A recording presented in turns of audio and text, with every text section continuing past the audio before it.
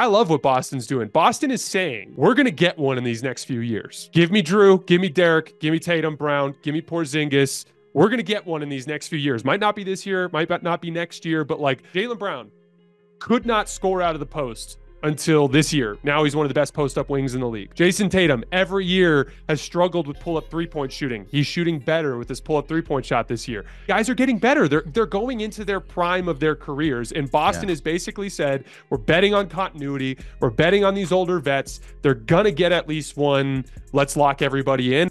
The Boston Celtics couldn't be more locked into the NBA playoffs than they are right now. It seems like over the past month, they have been locked into that number one seed and had nothing to play for, just waiting for the time to come.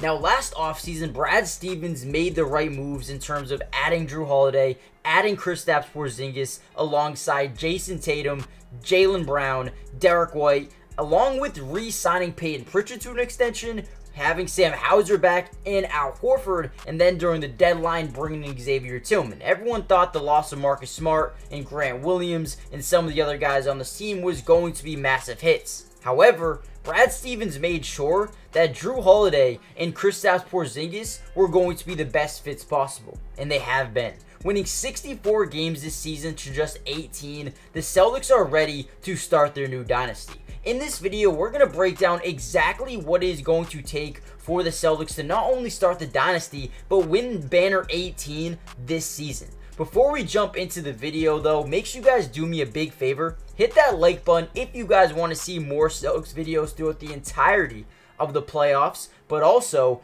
if you guys want to see the live reaction or my live reaction to the 76ers Heat play-in tournament game I will be live on Twitch watching that game, and I will be live streaming every single playoff game live on my YouTube channel, which is this one, and my Twitch as well. So follow the Twitch, subscribe to the YouTube, join the family. It's free, costs nothing, and let's get into why the Celtics dynasty starts today.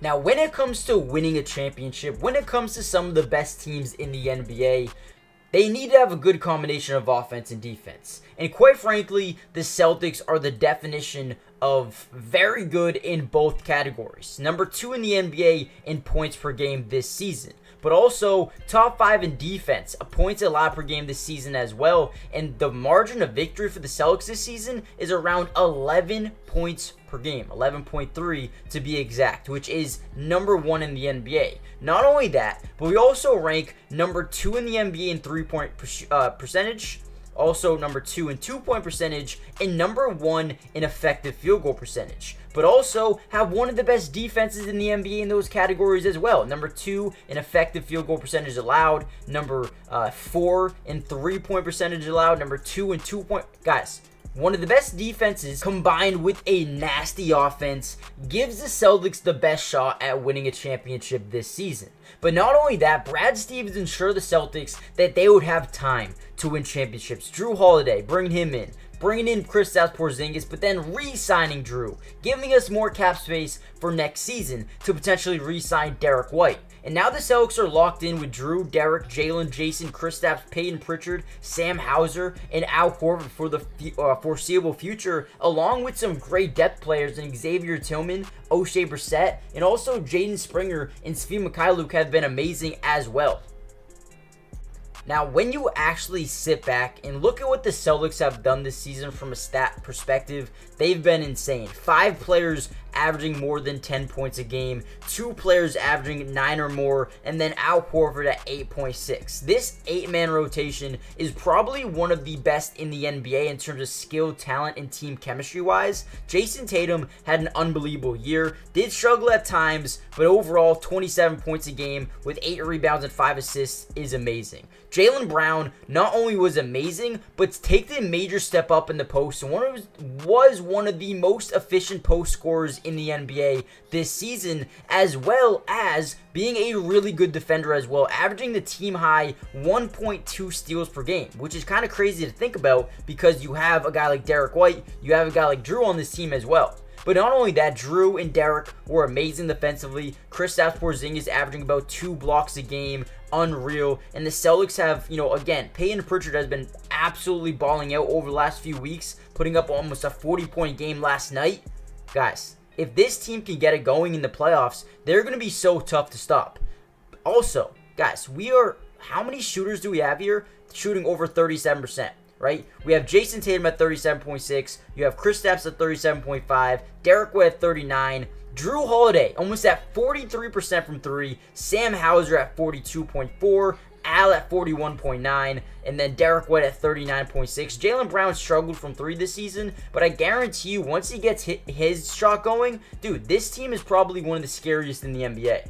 Now, guys, sadly, everything can't be sunshine and rainbows, right? From the outside looking in, the Celtics have all the potential in the world to win the NBA Finals this season. But there are some really concerning things heading into this year's NBA playoffs. First of all, guys, we cannot rebound the ball. We rank number 26 in the NBA in offensive rebounds allowed per game, and if this number does not somehow fix in the NBA playoffs, we are going to struggle in a lot of games, right? Obviously, when we take a look at it, we understand what this actually means. It means the opposing team is getting 11.1 more shots per game than they really should be. And when it all comes down to the very end, those 11 more shot attempts will matter when teams are out shooting us by 11, 10, 8, even 5 more shots than us, that gives them a better shot to win the game. We need to fix offensive rebound. We cannot allow teams to rebound the ball. And if we do that, we will win almost every I guarantee it. Our offense is so tough to stop and our defense is so good. If we can just rebound the ball, we're going to win a lot of these games. Now, let's be brutally honest for a second. The Celtics are probably the scariest team in the NBA, and you talk about how important Jaylen Brown and Jayson Tatum really are to this basketball team, but one of the biggest X factors, and we've known this for a while now, is this man right here. The health of Kristaps Porzingis means everything for the Boston Celtics, and now that we're in the playoffs, there's no more rest days. This man needs to stay healthy, and we will demoralize the NBA, and here's why. The Celtics are allowed to play a lot of spread isolation. Now, what that means is basically what we just saw here with Jaylen Brown, right? We're going to cover the corners, cover the wings with Sam, Payton Pritchard, Kristaps, and Derrick White. Now, the reason we can do this is because all of these guys around the perimeter can shoot the ball. Jaylen Brown is very good when it comes to getting to the basket, drawing multiple defenders, and scoring at the rim, right? Or even getting into the post and playing that one-on-one ISO ball. He's very good when it comes to that. But at the same time, he can draw in multiple different defenders. At this point in time, we see two guys in the paint and Josh Giddey trailing him, which is leaving two guys wide open, Derrick White and Kristaps Porzingis. Jaylen makes an unbelievable pass here and finds Porzingis for a wide open three, doesn't even have to move, and it's going to be good, right? Porzingis makes us a more versatile, more dynamic team, and he is crucial to this Boston Celtics run, not only this year, but for the dynasty if it does get started. Not only is Porzingis a vital asset on offense, but defensively, he has been so much more than I thought he would be. Losing Robert Williams, I was pretty sad. I thought we lost one of the best shot blockers in the NBA. But Porzingis has been that. He's been so good, especially here on Domantas Sabonis. You know, stays on his feet until that shot is going up, sends it in the other direction, gets the rebound, and boom. Just like that, we have a great shot blocker here in Boston who will continue to do that in this year's NBA playoffs. Now, this side or this play specifically, we're going to see some weak side rotation by Porzingis. Watch how he makes a play here on this one, right? Scoot over to, um, I believe, Jabari Walker. Walker going to drive into the paint, draw multiple defenders over, and here comes a block shot right? Offensive rebound. What do we say it for? Need to rebound the basketball. Box out. But then Porzingis gets another block shot, right? Boom, balls on the floor again. Look at another offensive rebound. Guys, this is real. This is real. The offensive rebounds that we allow needs to be changed, right? Again, another opportunity here for him. Jabari Walker in the paint. Spin, floater, blocked again. Guys, we need to get rebounds. And look at this again. Almost gets another one. But Porzingis is going to help as much as he can down low. And the last thing of importance that the Celtics need to carry on into the playoffs is the unselfish style of basketball. You know, everyone in the world, including me, hates when we just run ISO. And that was a problem for the Celtics for a while where we would just run Tatum or Jaylen, just ISO ball, ISO ball, ISO ball. Ball movement is the most important thing. Watch this play here as Jrue Holiday has taken over the reins as the point guard for the Celtics and has fit in like a puzzle piece. Drives baseline, and again, once you can drive baseline, you're going to draw a lot of weak side defense, right? You have Xavier Tillman in this dunker spot, maybe could get an easy dunk here. Jrue gets it over there, and now you have even more rotation. Now you have basically four guys in the paint here for the Kings. Xavier Tillman, hey, shout out to Xavier Tillman. Not only is he starting to shoot threes, he's going to be here for a while, and I guarantee you he's going to be huge. But not only that, a great passer as well. Kicks it over to Porzingis, right? But then Porzingis makes the extra pass over to Tatum, and Tatum has a wide open three here again. This is going to be crucial for the Celtics to win the championship this year. The ball movement and executing offensively, but at the same time, making sure you get the rebounds. The Celtics are going to be big. Obviously, Jayson Tatum misses that shot there, gets the rebound, and again, Tillman, knowing where to move the basketball, is going to kick it back over to Xavier or um, Kristaps Porzingis across the court, and then he gets another opportunity for the three ball, but gets it to go. But at the very end of the day, even though Tatum missed this shot, it's an open look. If the Celtics can hit their threes, I guarantee you it's going to be very tough for teams to beat it. So the most important thing is going to the playoffs, guys.